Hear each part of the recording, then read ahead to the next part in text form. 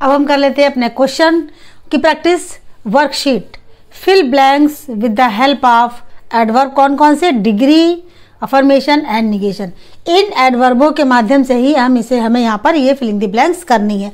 तो बच्चों, सबसे पहले हमें ये मालूम होना चाहिए कि एडवर्ब ऑफ़ डिग्री क्या है अफर्मेशन क्या है और निगेशन क्या है।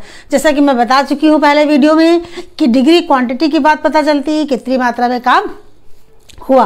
अफर्मेशन में स्वीकारात्मक बात प्रकट होती है और निगेशन में निगेटिव बात, यानी एडवर्ब ऑफ़ निगेशन तो इस तरीके से इन तीनों को अगर आपने थोड़ा सा भी अगर आप भूल रहे हो तो आप फिर से वीडियो को देख लीजिए और फिर अच्छे से एक्सरसाइज करिए।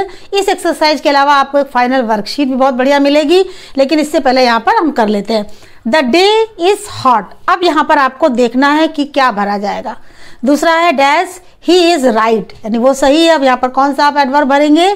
सी लाइव्स और यहाँ पर आपको भरना है। तो इस तरीके से इस वर्कशीट को, जो बहुत ही छोटी है, लेकिन आपके लिए प्रैक्टिस के लिए, इन तीनों टाइप के जो हमारे एडवर्ब है, उनके लिए आपके लिए है ये। तो इस तरीके से इसको आप करिएगा बच्चों, और अच्छे से समझ लीजिएगा पहले वीडियो से, फिर करिएगा। बच्चों, देखते हैं अपनी इस वर्कशीट में, जहाँ पर हमें रिलेटिव एडवर्ब और इंट्रोगेटिव एडवर्ब ये दोनों ही फिलिंग द ब्लैंक्स में भरना है वर्डों को।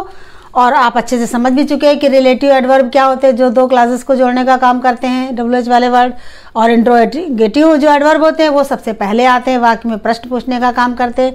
तो इन्हीं को हमें भरना है और बहुत ही सिंपल है। सबसे पहले dash are you going now ये तो आप बहुत जल्दी पहचान गए क्योंकि उसमें क्वेश्चन मार्क भी लगा हुआ है। यानी यहाँ पर प्रश्न पूछने का काम किया जा रहा है। This is the place you met him दूसरा वाला सेंटेंस यहाँ पर आपको बनना है।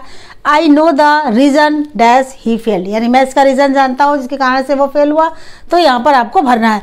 तो इस तरीके से आप यहाँ पर फिलिंग द ब्लैंक्स करेंगे help of the relative and interrogative adverb खूब अच्छे से बच्चों समझिए, पढ़िए, पढ़ाई को बोझ ना लीजिए टेंशन मत लीजिए, आराम से रिलैक्स होकर पढ़िए। और वीडियो देखते चलिए जहाँ पर भी भूल जाइए और आप इस वर्कशीट को करिए बच्चों। निश्चित तौर पर आपको समझ में आ रहा होगा इंग्लिश की।